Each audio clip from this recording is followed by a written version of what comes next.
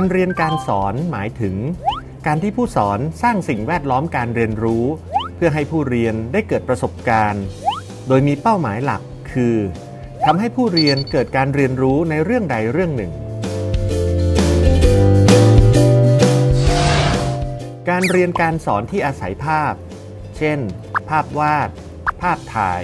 ภาพเคลื่อนไหว และวิดีโอ รวมทั้งข้อความ ไม่ว่าจะอยู่ในรูปแบบบนสื่อสิ่งพิมพ์ บนสื่อดิจิทัล หรือข้อความที่อยู่ในลักษณะเสียงบรรยาย จะเรียกว่า การเรียนการสอนด้วยมัลติมีเดีย จากการวิจัยเกี่ยวกับการเรียนรู้ตั้งแต่อดีตที่ผ่านมา แสดงให้เห็นว่า คนเรานั้นเรียนรู้ได้ดีจากข้อความและภาพ มากกว่าการเรียนรู้จากข้อความเพียงอย่างเดียว สำหรับงานวิจัยที่เกี่ยวกับการออกแบบการเรียนการสอนด้วยมัลติมีเดีย พบว่า นักออกแบบควรพิจารณาตามหลักการ 3 ข้อใหญ่และ 12 ข้อย่อยดังนี้ 1. reduce extraneous processing การลดการใช้สมองในการประมวลผลต่างๆ โดยตัดสิ่งที่ไม่สนับสนุนการเรียนรู้ตามวัตถุประสงค์ที่ได้กำหนดไว้ ซึ่งประกอบด้วยหลักการ 5 ข้อดังนี้ หลักการที่ 1 the coherence principle ผู้เรียนเรียนรู้ได้ดีขึ้น เมื่อมีการตัดเนื้อหาสาระที่ไม่เกี่ยวข้องออกไป มากกว่าการพยายามนำเสนอเนื้อหาที่ไม่เกี่ยวข้องนั้น หลักการที่ 2 the signaling principle ผู้เรียนเรียนรู้ได้ดีขึ้น เมื่อมีการให้การนำทาง หรือ cueing ในเนื้อหานั้นๆ ซึ่งช่วยเน้นย้ำจุดสำคัญสำคัญ และชี้ให้เห็นถึงโครงสร้าง การจัดระบบของเนื้อหาสาระนั้นๆ หลักการที่ 3 the redundancy principle ผู้เรียนเรียนรู้ได้ดีขึ้น จากภาพเคลื่อนไหว พร้อมเสียงอธิบายประกอบ มากกว่าที่มีภาพเคลื่อนไหว เสียงประกอบ และข้อความที่ปรากฏอยู่พร้อมๆกัน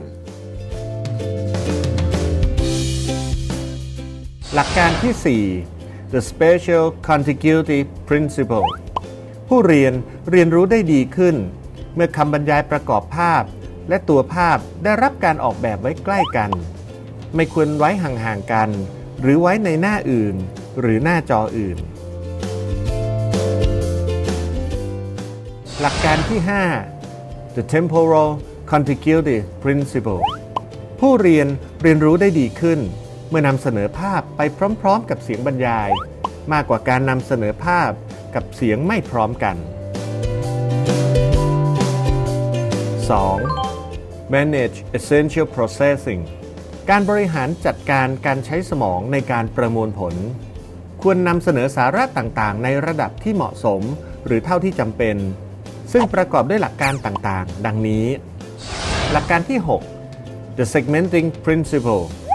ผู้เรียนเรียนรู้ได้ดีขึ้น เมื่อภาพเคลื่อนไหวประกอบการบรรยาย ได้รับการนำเสนอในลักษณะที่เป็นตอนๆและมีการออกแบบให้เหมาะสมกับลักษณะการเรียนรู้ของผู้เรียน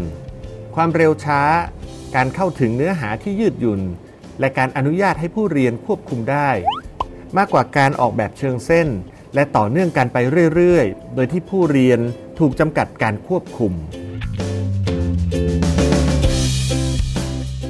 หลักการที่ 7 the pre-training principle ผู้เรียนเรียนรู้ได้ดีขึ้น เมื่อมีการให้คำแนะนำและ concept หลักการต่างๆ ล่วงหน้าก่อนการเรียนจากภาพเคลื่อนไหวประกอบการบรรยาย หลักการที่ 8 the modality principle ผู้เรียนเรียนรู้ได้ดีจากกราฟิกและเสียงบรรยาย มากกว่าจากกราฟิกและข้อความบนจอ 3. foster generative processing การทำให้เกิดการใช้สมองในการประมวลผลขั้นสูง คือการทำให้เกิดความเข้าใจในเชิงลึกต่อสาระต่างๆ ที่ถูกนำเสนอ ซึ่งประกอบด้วยหลักการต่างๆ ดังนี้ หลักการที่ 9 the personalization principle ผู้เรียนเรียนรู้ได้ดีขึ้น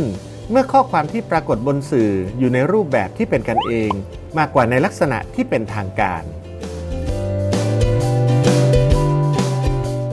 หลักการที่ 10 The Voice Principle ผู้เรียนเรียนรู้ได้ดีขึ้น เมื่อเสียงประกอบการบรรยายเป็นเสียงของคนจริง ๆ เมื่อเทียบกับเสียงสังเคราะห์ของคอมพิวเตอร์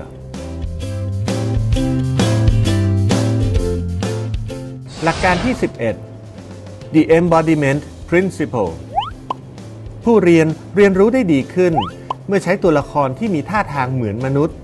มีการเคลื่อนไหวและมีการมองตา และการแสดงออกทางสีหน้า ซึ่งทำให้ผู้เรียนรู้สึกเหมือนกับว่าได้โต้ตอบกับผู้สอน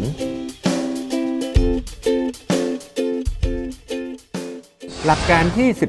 12 The Image Principle ผู้เรียนไม่ได้เรียนรู้ได้ดีขึ้นเสมอไป เมื่อมีภาพนิ่งของผู้พูดปรากฏบนจอ งานวิจัยพบว่า การปรากฏของภาพนิ่งของผู้พูดบนจอ นอกจากจะไม่ช่วยในการเรียนรู้ของผู้เรียนแล้ว ยังทำให้ผู้เรียนเสียสมาธิ จากการจดจ่อในสิ่งที่ผู้เรียนต้องโฟกัสด้วย